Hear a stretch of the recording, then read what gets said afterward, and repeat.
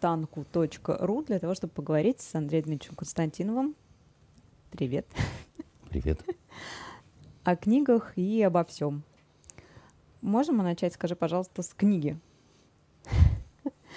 Мы можем вообще все, что хочешь. Мы Хочешь, зажиточные, Хочешь, зажиточные на, на граждане. столе будем прыгать там? Нет, не хотелось бы до Ну, этого тогда, доводить. тогда Давай с книги. Давай, давай.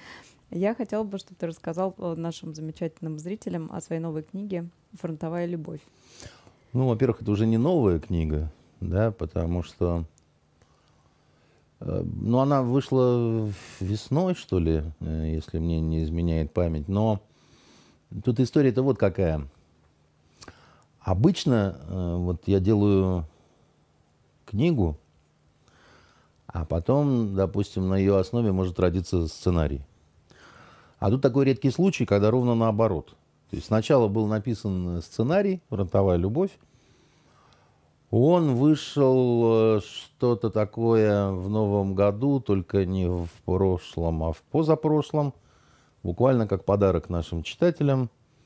А, Первого, второго, ф- второго, третьего, по-моему, января нового 18 года, по-моему, даже вот так вот это было.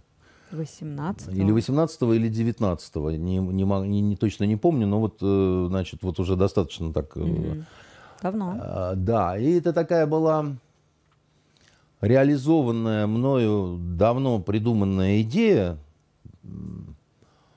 а, да, наверное, 19 потому что события там разворачиваются все-таки, так вот условно говоря, 16-17 год. То есть она, эта история относительно современная, как бы, да, про, про, про журналистов. И эта история, как это, про войну и про любовь, да, значит, про то, что э, вот люди, которые едут в командировку, в такую, в горячую точку, их там часто бывает накрывает э, что-то такое вот необычное, то, что журналисты называют фронтовая любовь. Вот э, какие-то чувства, взаимоотношения между людьми, между которыми в обычной вот, жизни, да, вот, скорее всего, никогда ничего могло и не произойти.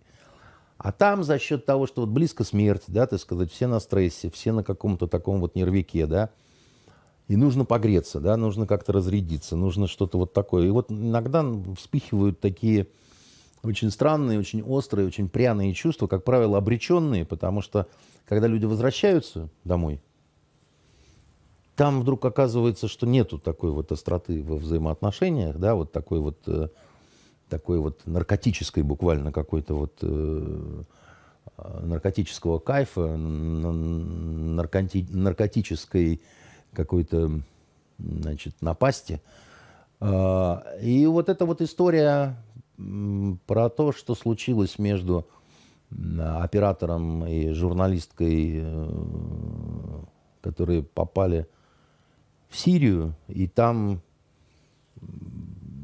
вместо международной конференции, которая планировалась с участием а, глав различных государств, в том числе и Путина, и, и Путин, кстати, там есть эм, в этой, во всей истории. И там а, пытались поднять э, мятеж э, так называемая партия освобождения Сирии. И э, поэтому там кровь, любовь, э, проблемы по возвращении. Такая длинная, достаточно жес- жестокая история, а, которую мне хотелось рассказать. И вот я ее э, рассказал, ее достаточно так много людей прочитало. Ее прочитало много режиссеров. Э, Практически каждый, кто прочитал, говорил мне, что хочет снять это кино. Но в итоге, значит, э, студия 3X Media купила у меня этот э, сценарий. Они сняли фильм.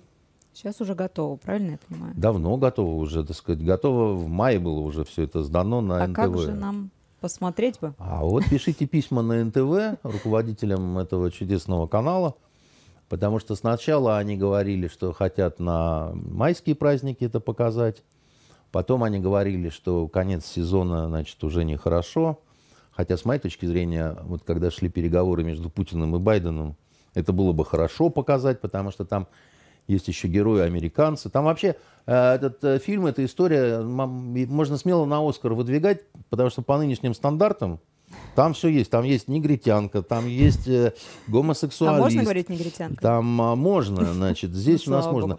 Там есть, значит, арабы, олигархи, ну, все, что хотите. То есть ты готовился к Там даже, конечно, там даже сотрудник ЦРУ есть, да, значит, и все такое прочее.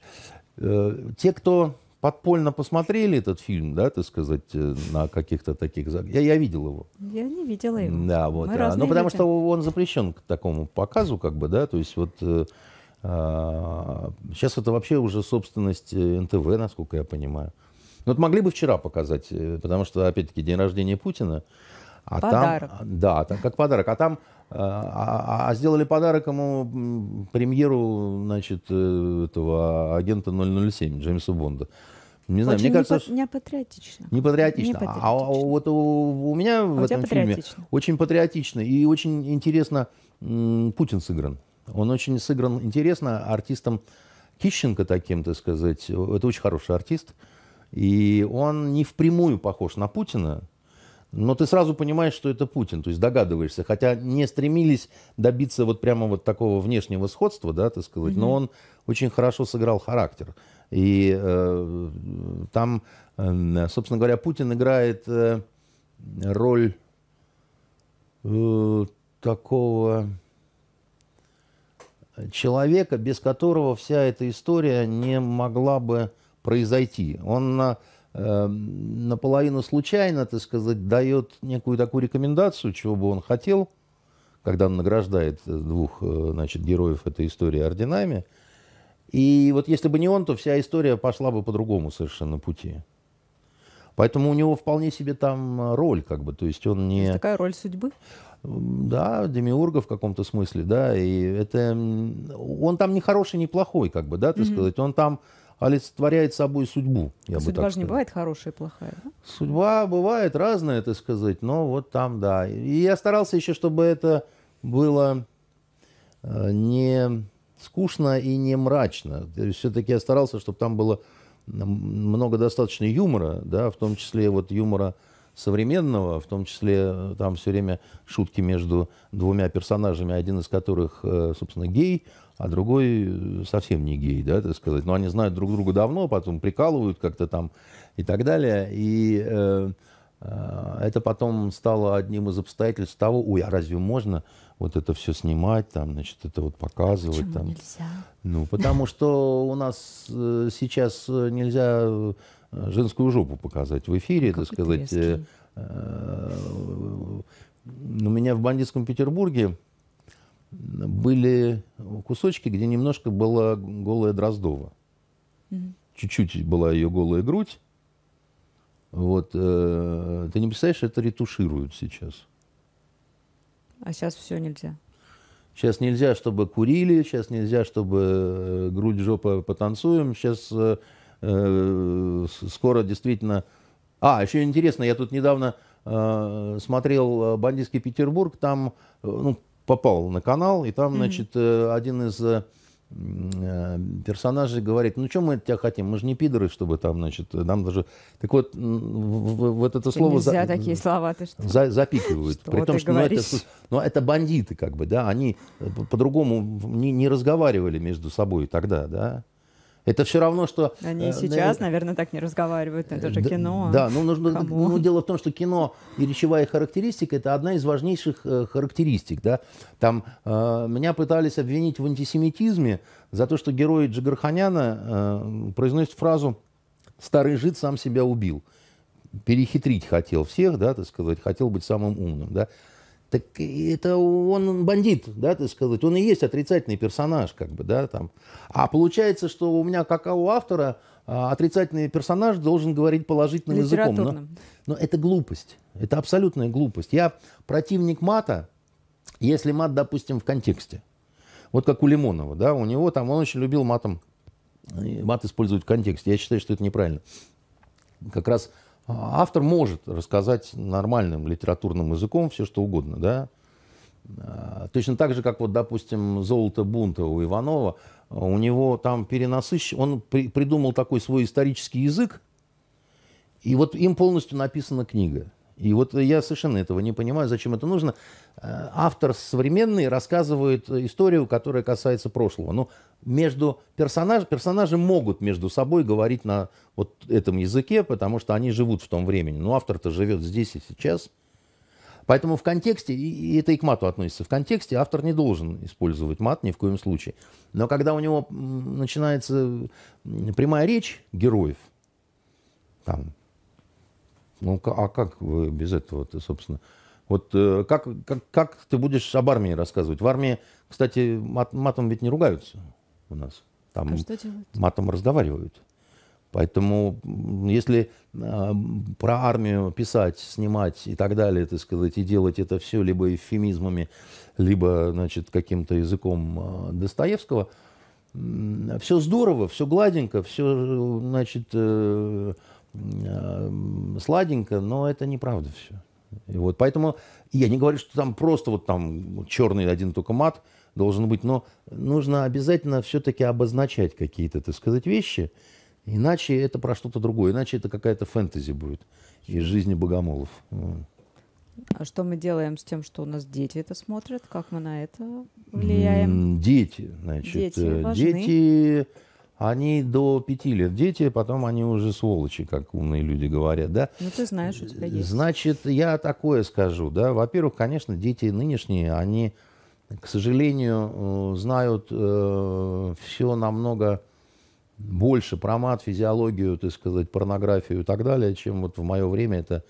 И тут надо либо запрещать мобильные телефоны, либо это бесполезно совершенно, да, вот, ну, просто реально. Дети а, потом ты не заставишь ребенка смотреть э, взрослые, взрослое кино, э, потому что это ему будет неинтересно, как правило. Да? Ребенок смотрит э, боевики, мультфильмы, сказки какие-то, еще чего-то такое. Ребенок, который учится в третьем классе, там, не знаю, бандитский Петербург или фронтовую любовь смотреть не будет, не должен. В том смысле, ну, либо это какой-то вундеркинд, значит, с которым э, проблемы, да, и который... А после третьего класса, ну, делать вид, что ребенок э, не будет знать вот этих всех э, выражений, я не знаю. Вообще это часть языка нашего.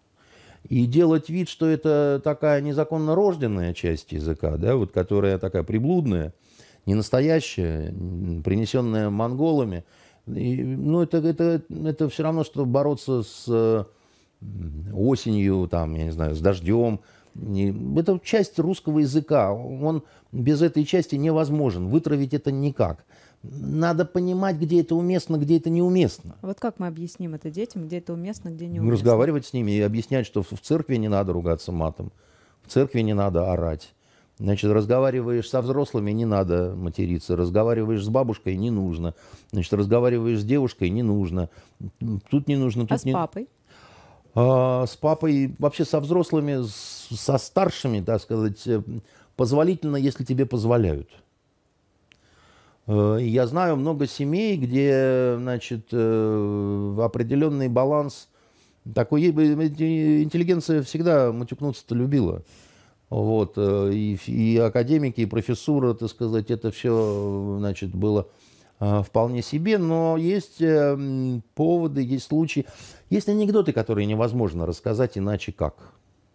Есть. Есть Пушкин, э, да, так сказать, э, где, ну да, конечно, там точечки стоят, но э, Маяковский, кстати говоря. Как он говорил, кому он лучше будет в постель подавать ананасную воду, да, знаете, матерное слово. Вот. И что с этим делать-то, как бы, да? Делать вид, что Маяковский этого не писал? Или... Ну, поэтому это все... Э, я вообще считаю, что это не самая большая наша проблема. Вот мат – это не самая большая наша проблема. Злоупотреблять, ну так злоупотреблять чем бы то ни было нехорошо. Матом в том числе. А, когда-то любили, потому что, а, эпатирование такое, эпатирование. Эпатировать не нужно. А вот то, что это часть языка, то, что это в определенных каких-то вот ситуациях там, значит, еще чего-то, ну, ну, ну, ну да, давайте отрицать очевидное. Мне особенно странно это слышать от каких-нибудь э, представителей там, средств массовой информации, например, потому что так как ругаются в редакциях все, это только в ментовке и на скорой помощи еще, по-моему. И поэтому вот, ну, ну вот что, ну, ну да, давайте сделаем вид, что наши журналистки, так сказать, не разговаривают между собой э, определенным совершенно способом, когда едут на труп, допустим, снимать чего-то. Ну, давайте. Ну, видишь, мы опять приходим с тобой к тому же, что у нас сейчас нету каких-то норм. Да? Раньше у нас нормы были достаточно четкие. Все-таки. Это когда раньше? Что ну, когда я была молода, например. Ну, ты сейчас молодая, но дело не в этом. Дело, назад. В советское время эти ну, нормы... Слушай, мне они... не пришло бы в детстве, вот в подростковом возрасте, где-то я лет до 16 я вообще не понимала вот эти все слова пока я не изучила это в специальной литературе, где это все было описано. У меня в окружении этого не было. Возможно, я это слышала, но как иностранный язык, знаешь, если ты не понимаешь какие-то слова, ты их не анализируешь для себя. Сейчас ты можешь идти по улице, и десятилетние какие-то ну, вот, дети, они могут так разговаривать. Меня это, это тоже коробит, да, и девочки нервирует там... меня. Но, но я тебе скажу другое. А я, значит, э, постарше тебя. И Чуть-чуть. когда мне было совсем мало лет, да, там, я проводил э, летние месяцы в белорусской деревне под Витебском, да, значит, э, и там тоже все матом разговаривали, причем мужчины, женщины, так сказать, и, и никто в этом не... Вот дети с вот такого возраста, как бы, да, они совершенно... Поэтому вот э, назвать их какими-то а, развратными, тупыми, спившимися, там еще что-то, я не могу. Нормальные люди совершенно. То есть норма там была, правильно я Это понимаю? было там... Ну, а, естественная какая-то Естественная среда. часть языка. Угу. Как бы, да, там они даже не... Вот, э, э, это даже не ругань была, как ругань, да, это угу. вот, ну... Просто разговорный процесс. Да, да, разговорный процесс. Замечательно. Поэтому тут все вот зависит, как бы, да, значит, от э, того, кто где рос, э, кто как к этому относится, да, там, кто э, для кого какие, ну, у кого какое чувство юмора в том числе. Потому что огромное количество разных прибауток, идиоматических выражений, стих, стишат каких-то, да, так сказать, mm-hmm. анекдотов, которые по-другому ты не никак не, вот ничем ты не заменишь это, да, вот никак. И, иначе пропадает вот эта вся, острота, э, вся острота, угу. весь юмор, там, все такое прочее. Окей. Ну, ты затронул уже тему, которую я хотела, в общем, с тобой обговорить. Ты же отец ребенка, сдавшего ЕГЭ на 100. И тут ты сказал, что ты разговариваешь с детьми. Это не частая практика, скажу я тебе. Ну, по крайней мере, я с ними не пытаюсь э, лицемерить. А я иногда очень плохо с ними разговариваю. Я такого тиранического склада папаша, да, значит, э, потому что я им говорю, что я говорю, вы в своих вот айфонах мерзких э, обнаружили, что все равны между собой, и время от времени у вас слетает рычажок, и вы думаете, что вы равны мне, и что со мной можно как с, с приятелем, с подружкой еще кем-то, но вы бредите, как бы, да, так сказать, потому что я есть ваш, так сказать, папан, вот, захочу с кашей съем, да, значит, а вы такого не можете. Потому что я могу вас в угол поставить, а вы такого не можете, понимаете? И идите и пишите всем, что вас подавляют, домашнее насилие, там, значит, права. То есть ты абьюзер. А? Ты абьюзер, как теперь Я не знаю, что это такое. Типа давишь. Не, я не давлю, я просто говорю, так сказать, как оно будет, вот, и все, как бы, а там я... Э, не, я, я, я, я не, не давлю, но я, как сказал сынок мой однажды, говорит, пап, ты все время оказываешься прав, вот когда ты там говоришь, что вот не надо так делать, иначе, так сказать, там... И все время ты оказываешься прав, ты бы знал, как это Слушай, раздражает. ну это неприятно, а как, как ты хотел? Как, как это вот просто вот прям говорит, колбасит меня, понимаешь? Отвратительно, совершенно да. отвратительно. Вот, и если бы я не был такой сволочью, так сказать, если бы я не ставил их в угол, причем я еще с особым цинизмом, они у меня как стояли обычно в углу уже взрослые. Не рассказывай лучше, сейчас меня будет стресс. Я говорю, надо вам, вот я говорю, вы, вы по аналогии, понимаете, у вас же вот есть эти айфоны, да, вот они разряжаются. И их ставят на подзарядку, чтобы они, значит, зарядились. Я говорю, вот у вас разрядилось чувство значит, меры, да, так сказать, чувство уважения к старшим, так сказать. Вам надо подзарядить. Встаете, вот так, вот так вот ставите два пальца, там такие кружочки на обоих, так сказать, и заряжаетесь. Пока... Пап, ну мы... Я говорю, ну подождите, ну вы же не случайно здесь оказались. Какой ты креативный. Нет. Значит, э, я говорю, а за, а за что вы вот сюда попали? Они сначала ни за что, я говорю, ну тогда заряжаемся. Не, не, мы понимаем, за что, вот значит, за это, за это. Я говорю, ах, вы понимаете, за что. И все равно сделали, так сказать, ну тогда надо заряжаться, так сказать, и, и, и все такое. Они уже были такие с меня ростом, они говорят, пап, ну это как-то не... Ну что ты нас в угол ставишь, как бы? Я это говорю, ну, неловко. вы же только вот выросли, э, это сам, а как были кретинами, так и остались, да? Какой ты милый я, папа. Нет, я говорю, ну, если вы считаете, что нарушаются ваши права, как права детей, вот вам телефон. Вот, тетя Света Агапитовой, она тогда была, значит, уполномоченной по правам ребенка. Ужасно я говорю, вы ей звоните Ужасно. и скажите, что тут происходит тирания. И с учетом того, что я однажды очень грязно пьяный приставал к ней, так сказать. Господи, ты можешь перестать рассказывать ужасные вещи? Она не откажет. Я говорю, у вас а, усыновят, удочерят. Добрые под, люди. Под Новосибирском, значит, на свиноферму вы будете с утра вставать, у вас будет, так сказать, здоровая, значит, э, какая-то работа там. И я говорю, а, а что мы? А мы отдохнем, пока знаешь, что вы попали вот в хорошие руки. И они говорят, нет, ну мы пока, наверное, не будем все-таки. Пока нет. Да, да. Пока нет, да. И э, в какой-то момент э, оказалось, что, особенно по раздолбаю сыну, что в их школе мне показалось какая-то вот недостаточная подготовка. Ну, тем более он такой баскетболист, там то все.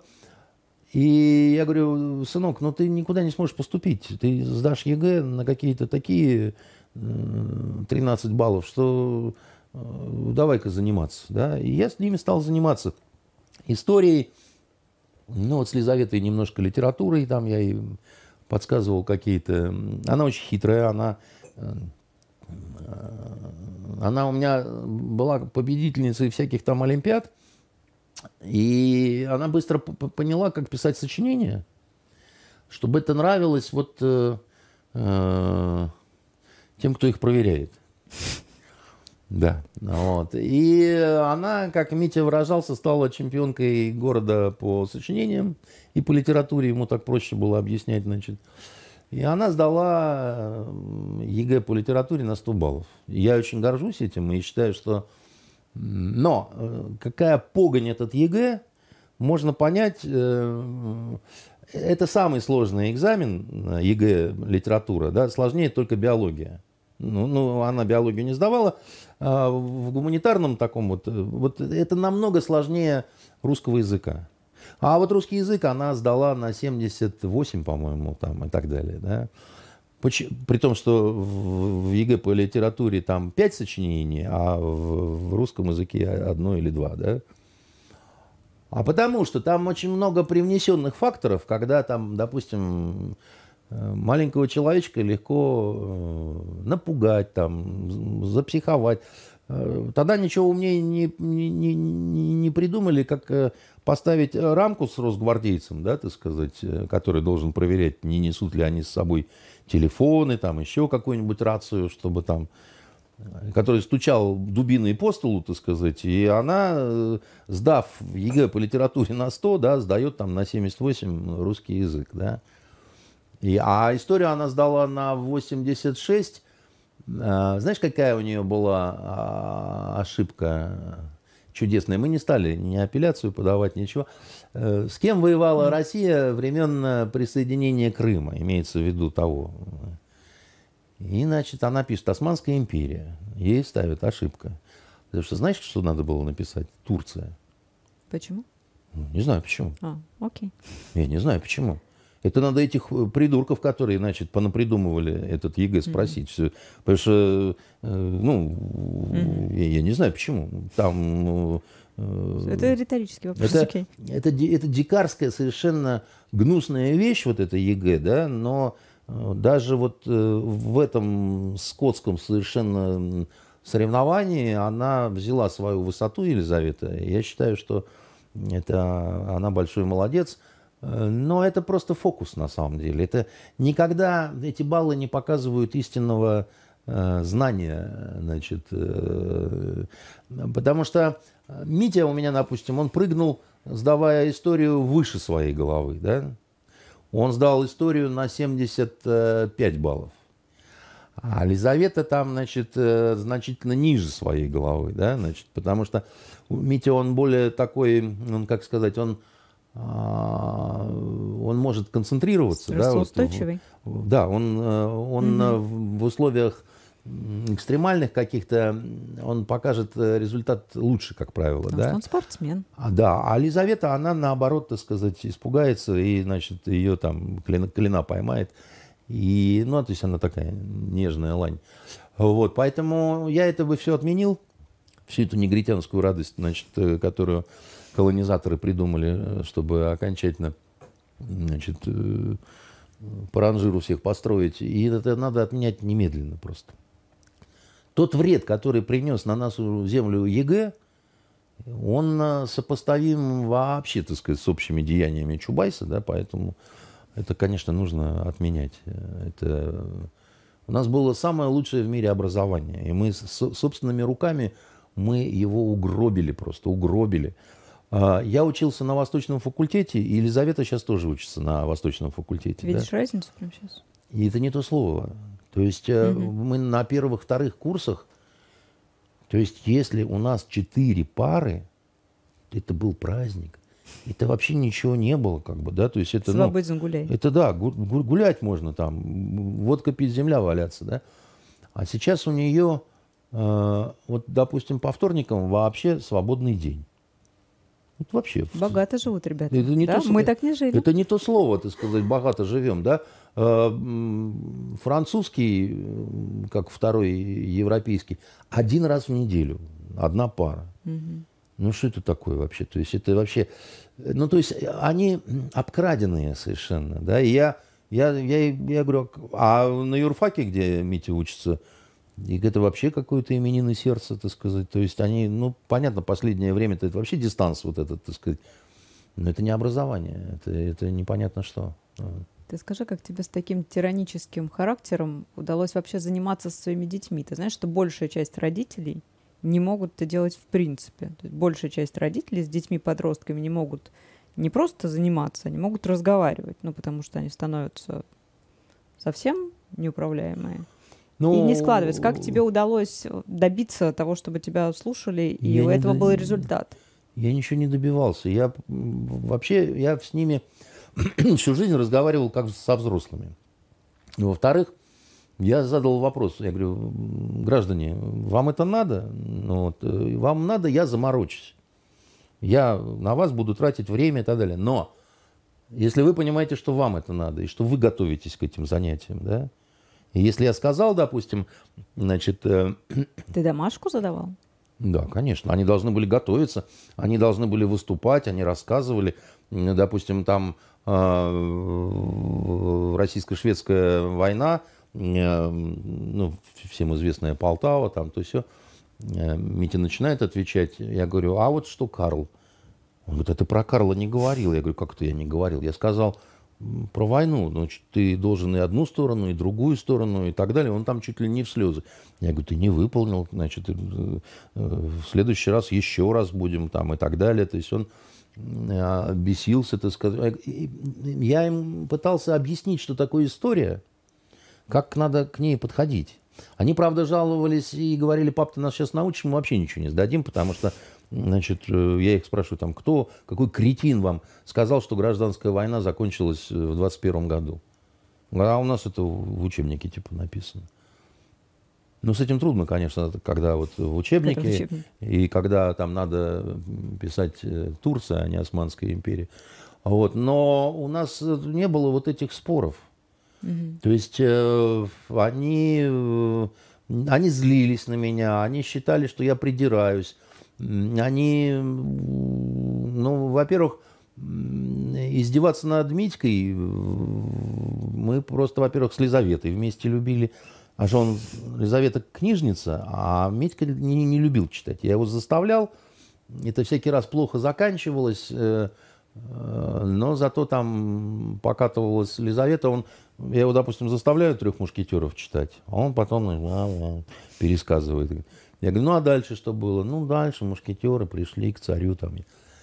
Получи, так сказать, кни книжкой, он там, значит, увернется, Елизавета хохочет там, значит, э, э, или там э, Тихий Дон начинает пересказывать, ну, потом они пошли ловить рыбу, вот они потом поймали рыбу, пошли ее в лавку продавать. Я говорю, как где они рыбу-то ловили?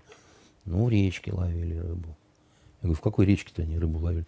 Пап, ну что ты придираешься? Откуда я знаю, в какой речке они рыбу-то ловили? Я говорю, кретин, книга как называется? Тихий Дон. Он говорит, и что? Я говорю, да ничего, мне, понимаешь, Мить, ну, ну что, что, ну, вот там. Ну, опять же, Лизавета хохочет, как сумасшедшая, да. Поэтому у нас это Недобрый было... ты, недобрый ты, Недобрый, да. Значит, и поэтому у нас это все перемежалось всяким хохотом таким, да, потому что... Не у всех у вас, да, у некоторых ну, из вас. я над ними, да, конечно, немножко, так сказать, глумился по поводу и так далее, но они от этого стали сильными. И когда Митька сдал, а, значит, э, окончательно экзамены, и понятно было, что он с огромным запасом поступает на этот юрфак, ну вот, он сказал, папа, я тебе хотел сказать спасибо, это, и без тебя бы этого ничего не было, это только ты, значит, все это сделал. А учителя в школе, они очень плохо к этому отнеслись.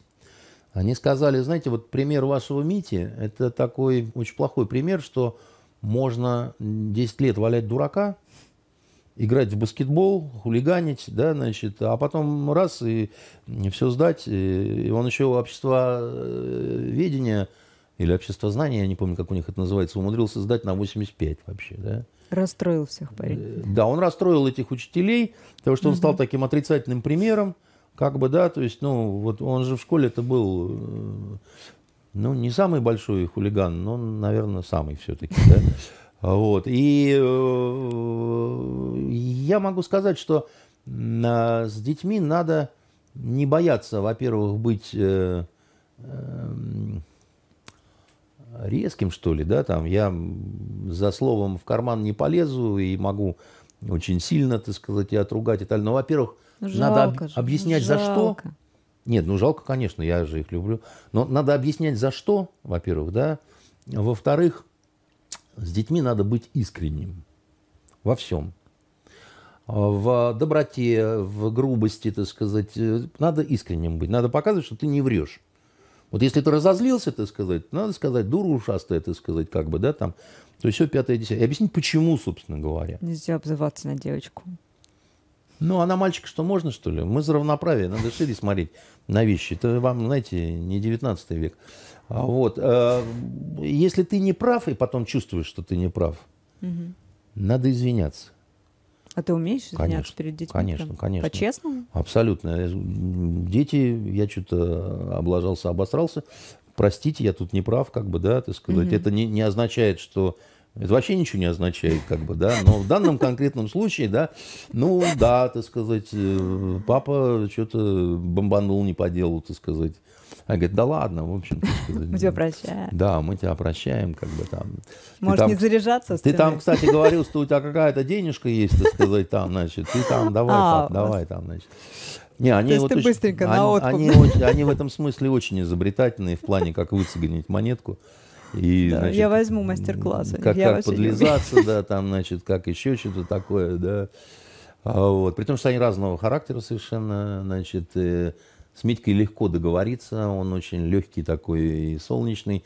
Елизавета упертая, как вот прям вот э, вообще, ей бы в прокуратуре работать, Маузер выдать. Или вот в Воронежской бане, значит, заведовать материальной частью. Не пропадет. Она вообще, она взрослых очень любит поучать, она с детства это вот это такая вот сопля, когда, значит, э, какой-нибудь э, заслуженную артистку России, да, там говорит, а вы знаете, кем Афина приходилась Зевсу? Не знаете? Так вот я вам, значит, сейчас скажу. Там. Что она напоминает мне кого-то. Не знаю. Да. Не знаешь кого? М-м. Скажи, как ты думаешь, мы э, можем вообще литературой победить вот эту всю зависимость телефонную, или мы должны смириться и как-то вкрасться в телефон? Что нам делать? Я Это- не думаю, что мы можем победить, но я думаю, что мы должны продолжать сражаться. Потому что, во-первых? Потому что есть только те, кто сражаются, это первое. Во-вторых, как бы катастрофа велика. Значит, она не окончательна, пока есть последние огонечки, уголечки и так далее. Поэтому нужно за это... а, сейчас, к сожалению, государство, элита не понимает значения художественного творчества вообще. Вот то, что то, что называется культура не в плане библиотек сельских, потому что это все склады, да, там музеи это тоже склады. Они нужны, но современная культура это не спектакли Серебренникова. Современная культура это новые смыслы, которые должны вырабатываться писателями, драматургами, режиссерами, композиторами, ну, много кем, да. И вот с этим всем огромные проблемы, потому что если мы там, берем, а что современные художники, ну, я не имею в виду тех, которые там непонятно что малюют, и говорят, что картина называется «Взрыв бегемота в пустыне». Да? Значит, это и я могу э, такое же, причем там разными частями тела нарисовать. Воздержись. Э, Ну, почему нет, так сказать. Как бы.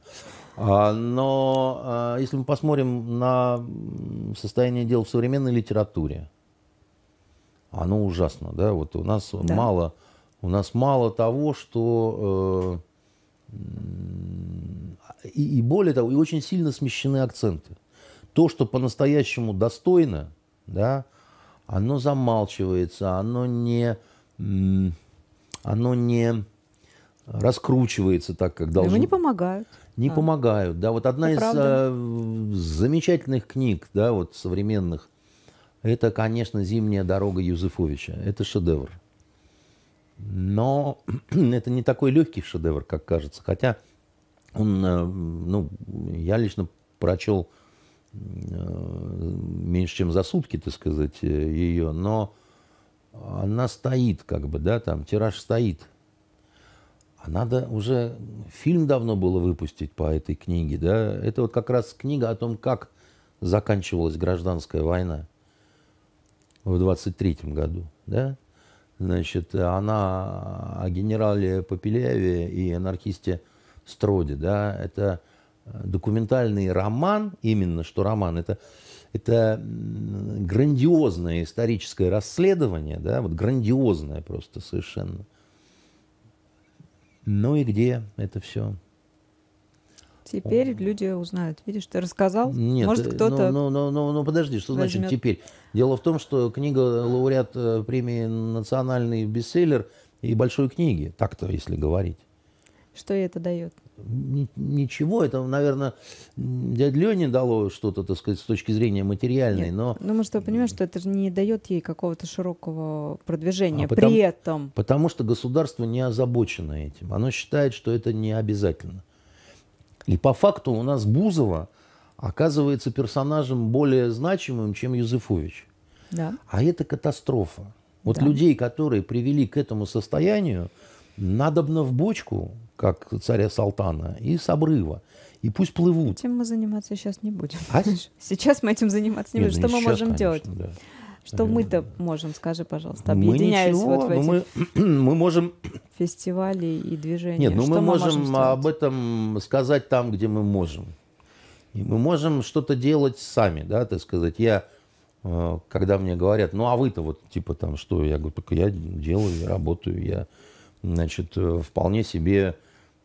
Я, кстати, считаю, что э, та же вот э, книга «Фронтовая любовь», она могла бы быть в достаточной степени социально значимой, потому что там есть в том числе такие болевые точки обозначены, да, в плане вот как раз вот этих вот э, трудных взаимоотношений там между патриотами, либералами, там, геями, натуралами, ну, я не знаю, там, условно говоря, да, но вот что мне, какие разочарования мне принесла эта книга, и помимо того, что никак премьера не состоится фильма, ни одной рецензии нет вообще. Вот она Как так? пол... А, вот как так? Вот, э, как говорится, спросите, вот Москва, Кремль, приемная товарища Калинина открыта с Для 10 всех. утра. Значит, э, я не знаю, как же так. И дело не в том, что я там я, я, я.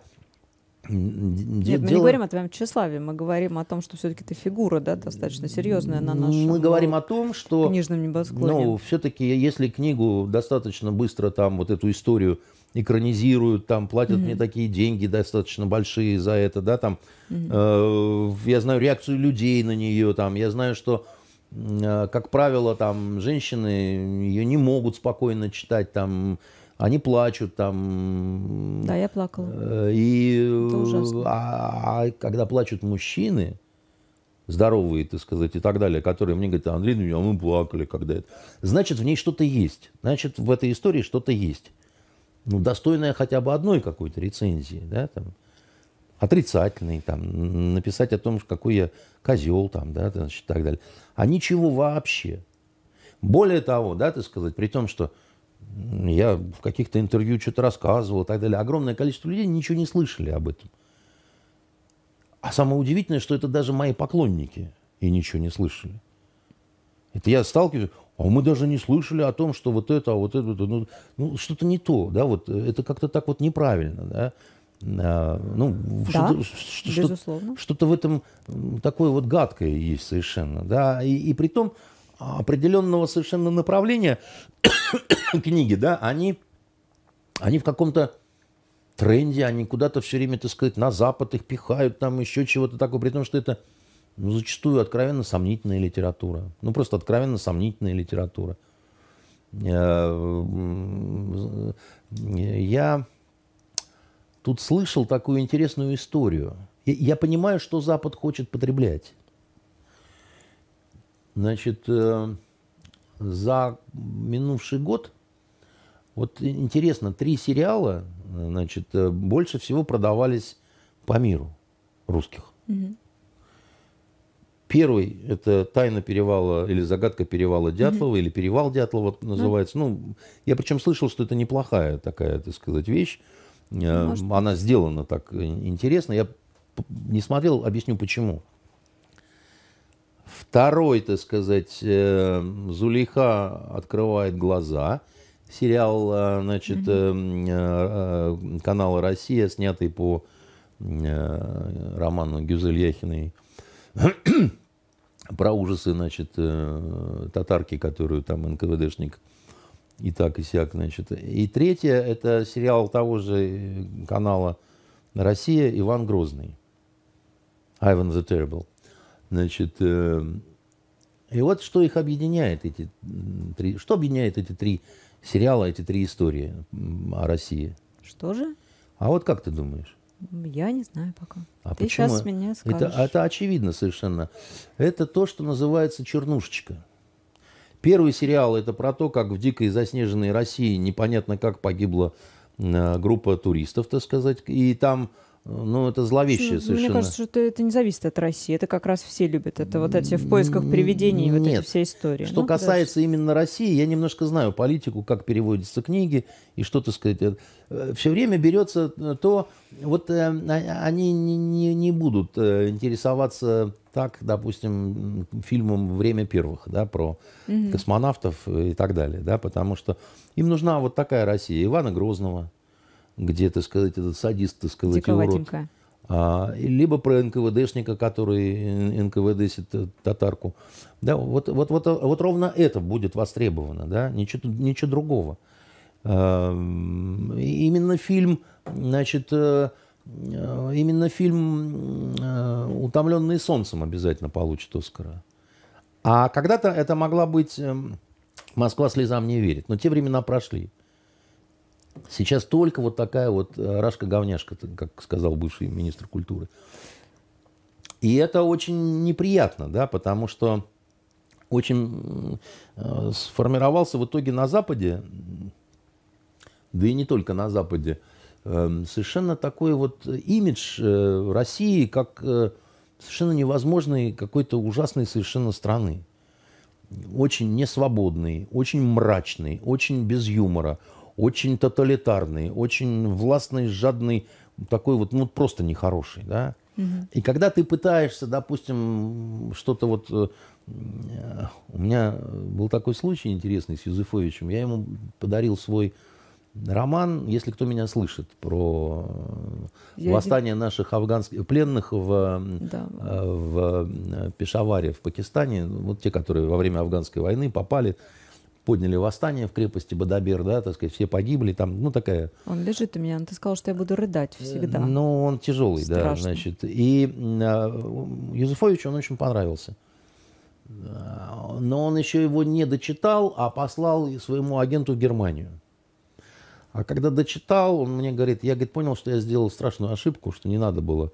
Я говорит, даже спрашивать не стал агента э, в Германии, заинтересовало его, не заинтересовало. У твоей этой книги нету шансов, так сказать, э, на немецком рынке, потому что ты делаешь героя из советского офицера в Афганистане. А советский офицер в Афганистане это однозначно саблезубый урод, оккупант, негодяй, так сказать, намного хуже э, гитлеровских э, э, Waffen-СС, которые, значит, входили в Белоруссию, да. А вот это, это так. Это абсолютно точно так. Совершенно. И даже очень образованные, даже очень люди такие вот э, тонкие, как, допустим, испанский писатель Артуро Перес Реверте, даже они, э, вот они заражены немножко этой такой, это даже не русофобия, это, такая, это такой какой-то взгляд странный на нашу страну, такой неправильный как бы, да, то есть вот э, он, э, он искаженный, что ли, да, вот он, даже иногда непонятно, почему такой, как бы, да, вот, это, это вот как, как, как правило, если ты смотришь западные сериалы, фильмы и так далее, и там есть русские, ну, блин, ты смотришь и улыбаешься и говоришь, да ну, блин, ну, ну, ну почему вот, даже когда показывать пытаются хорошими, есть чудесный совершенно американский сериал, а, он называется «Американцы», про русских разведчиков-нелегалов, которые в Америке вот... И это героический сериал. Это, ну, вот главные герои – это русские разведчики, которые э, уже непонятно, они русские или американцы, да, потому что они вот... Очень хороший фильм.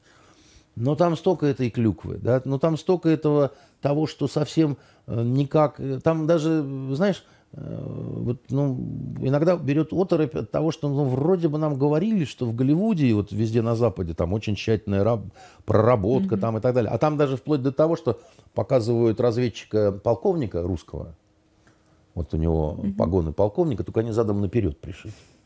Вот перевернут погон, как бы, да.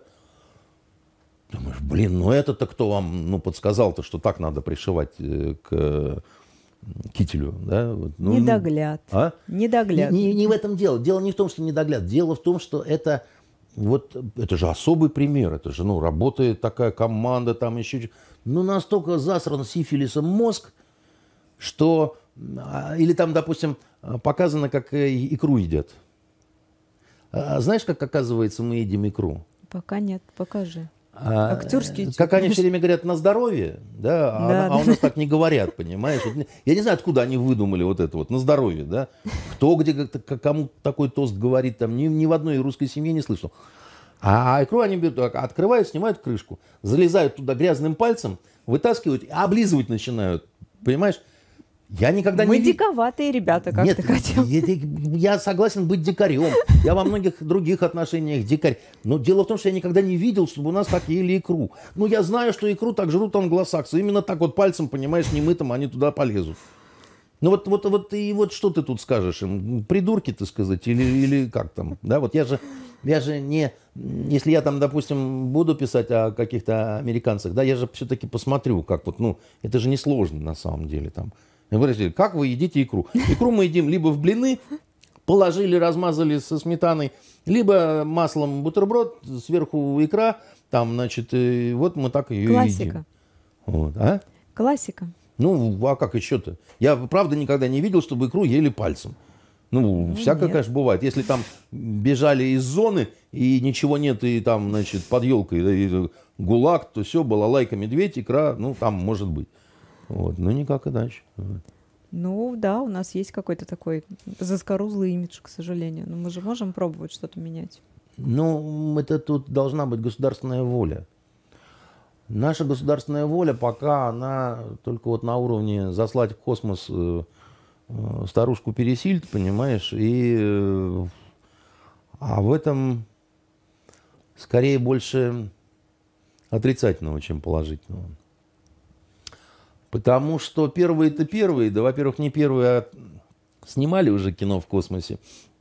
В 80-е годы космонавты снимали для художественного фильма «Путь с орбиты», или как-то так он назывался, я не помню. Вот. А во-вторых, э, как, да, э, чтобы э, снять убедительно казнь Миледи, да, совершенно не обязательно артистке отрубать голову. Не, не надо. Да, бы. вот, да. Поэтому если про, про космос, то, в общем-то, не, не надо туда никуда лететь. Это все фокусы, да. Ну, это... такая пиар-история, да. Ну Почему вот нет? пиар-история, пиар должен э, толкаться от реальных эм, побед. Тогда это будет пиар. А когда пиаришь нечто, как это, бесконечный фантик получается. Где сама конфета-то? В чем значение пребывания этих э, высокохудожественных людей, которые там все меша- всем мешают, там все сносят и, значит, э, превращают жизнь э, международной станции в ад. Вот. э, Я не понимаю этого. И я считаю, что у нас большие проблемы с высшей элитой, которая не понимает значение культуры для собственной их же безопасности.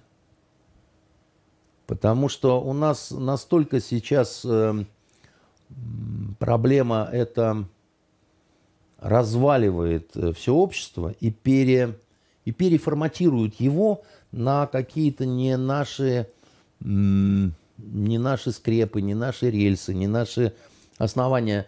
Есть известное всем выражение, да, если хочешь победить врага, э, воспитай его Воспитай его детей. детей. И они занимаются воспитанием наших детей своими погаными Гарри Поттерами, да, так сказать, и так далее. И если бы на их Карлсона ложился наш Незнайка, то это прекрасно, как бы все в порядке, как бы, да, там больше Карлсонов э, разных и нужных, да. Когда только Карлсон, там будут исключительно шведские ценности. И в них ничего нет плохого, за исключением того, что они шведские.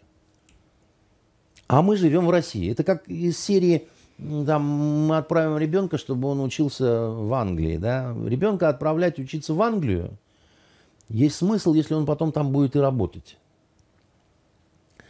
А либо, так сказать, он учит э, здесь, э, учится английской филологии, и тогда на стажировку надо отправлять, но это не означает учиться в Англии, да? Это не означает получение английского образования, да? Вот, к сожалению, воспитание через вот это все нашим детям абсолютно точно не хватает, потому что одними только мультфильмами про богатырей не обойдешься. Нужны фильмы детские, подростковые, да, значит, э, тинейджерские, да, там, значит, вот это все. Этого просто нет категорически. Нужна эта литература. Этого. Причем она такая нужна, чтобы они также к этому относились, как к этому вот, э, значит, Гарри Поттеру и, и прочим разным Человекам-паукам. Иначе дети станут чужими. Даже я со своими детьми не нахожу общего языка по этому поводу. Они так сразу там иголки выпускают, да, там, куда вы лезете, там, ты не понимаешь, папа, да. Это Готэм это наше все. Вот, я говорю, Готэм это не ваше все, да. Я тоже смотрел э, Готэм, да, но э, мне он не страшен, а вам он страшен, потому что вам перепрошивают мозг, Слушай, ну нам нечего дать вместо. Они говорят, дай тогда вместо Готма такой умный тут сидишь, дай нам что-нибудь. но я И обычно... что ты дашь, да? Ну, я, же со- я советую, что почитать, что там посмотреть и так далее. Другое дело, что все правильно, да, все, что было произведено в Советском Союзе, это уже не того качества. Я имею в виду, что даже просто картинка выцвела. Да. Картинка выцвела, технологии уже сейчас не те, да, там прекрасный фильм «Эскадрон гусар летучих», прекрасная там э, музыка, прекрасные стихи, стихи Дениса Давыдова. Это не современный фильм уже. Да. Его уже, его, его бы переснять. В том смысле, что он, он сам-то прекрасен, да, так сказать, и идея хорошая, и все, так сказать, и он патриотический такой там, и, и сама фигура вот этого э, поэта-партизана, она достойна. Но, но, но это, это ж когда же он был снят-то, понимаешь? Это ж когда он был снят, чуть не полвека назад, да? И что дальше? Дальше, дальше ничего. И наши верховные бонзы, они говорят, как бы, да, да это не важно. И вот Путину вчера был, э, у него день рождения, 69 лет, наше поздравление, то все. Ему на день рождения поставили премьеру э, Джеймса Бонда. А должен был быть всероссийская премьера нашего русского фильма «Небо» про русских летчиков в Сирии. А этот фильм отодвинули от премьеры и переставили на ноябрь. Ну и что такого? Ну и что вы тут конспирологией занимаетесь, да? Да это неправильно на самом деле. Да неправильно это. Потому что это Джеймс Бонд должен быть потом. Это враг наш. Этот Джеймс Бонд, он враг. Как бы, да, вот, э, ой, как вы все сложно, как это самое, Джеймс Бонд, это просто такой вот герой, его любит весь мир. Так он все время русских убивал. Ну, давайте, как бы, мы будем говорить, что это здорово. Давайте говорить, что это наш герой. Вот он нас же убивает, он наш, наш герой. Но это же глупо совершенно. Это все равно, что самим себя уконтрапупливать, так сказать. Вот и все. И в, а, если ты пойдешь искать в Дом книги, да, и ты посмотришь, сколько переводится книг с английского языка. Вот они изданы у нас. Огромные стеллажи, так сказать, да, там сотни наименований. Французского, испанского, итальянского, шведского, норвежского, какого хочешь, да, ты сказать. И мы это все в себя вбираем, вбираем, вбираем. Это здорово и правильно, мы обогащаем себя этим. Мы, мы хорошо знаем мир за счет этого. А приди ты в Лондоне в магазин и найди там вот эти четыре книжки, переведенные с русского языка, две из которых будет э, одна Толстой, другая Достоевский, как бы, да? Вот тебе в обратку, как оно. И то же самое будет во Франции, то же самое будет в Италии, и то же самое будет где угодно. И в Германии, и в Берлине, где, где хочешь. И это, это то, где мы, безусловно, проигрываем. Вот это то, чего не могут понять организаторы вот этого запуска на орбиту мадам Пересильд, да? Потому что это все, ну, посадили, послали, там, она, значит, мы должны научиться выигрывать в глобальном состязании смыслов – через художественное творчество. Сделать это без нормального государственного осмысления и соответствующего финансирования этой отрасли, так сказать, ну, так, чтобы людям... Э, мы как с тобой говорили, и ты сказал такую фразу, что молодым авторам э, ни, никак не научиться продолжать работать, потому что настолько на них все плюют, да, так сказать, что они да? все уходят из этой профессии, Многие. да. И да, и, это катастрофа. Так вот, этого не должно быть. Значит, э, молодых в этом смысле нужно обязательно поддерживать, там, да, так сказать, поддерживать всеми калибрами артиллерии и так далее. Но это невозможно, пока вот там, пока вот там не поймут, что это важнее, чем запускать вот эти вот э, ракетки, так сказать, на э, космические станции. Потому что это, это просто фокус. А вот это, про что я говорю, это вспахивать э, давно не, пахану, не паханную землю. Видишь, поэтому мы объединились в большой фестиваль со смыслами и будем достукиваться. Мне кажется, что мы должны объединить всех, кто может бороться с ну, этим. Ну, сказать по правде, я не очень верю в то, что, так сказать, это так легко и просто э, получится, но в стену надо биться. Знаешь, я верю в каждый шаг, да, не делаешь шагов. В стену и... надо биться, да? это обязательно. Просто биться, биться, биться. И однажды появится трещина, однажды вывалится первый кирпич. Ну, дай-то Бог хоть какой-то результат увидеть. Очень хотелось бы, да, но я много лет, э, значит, вот это все говорю. Большинство из того, что я сказал на эту тему, тебе не новость, э, не, не так далее. Ну и Ну и... Вот, ну, буду не Ты же переставать. велишь мне не сдаваться? А? Ты же мне велишь не сдаваться все время, когда я пытаюсь сдаваться. Все время говоришь, что надо что-то делать. Сдаваться никогда нельзя. Вот. Сдаваться – это себя предавать. Вот. Поэтому мы не сдадимся, будем объединяться еще в фестивале и еще приходить к тебе, если ты не выгонишь меня в следующий раз. Мы с тобой тем временем А как проговорили пойдет? час. Вот. А, я думала, а как тебя выгонишь, вообще ты должен был сказать.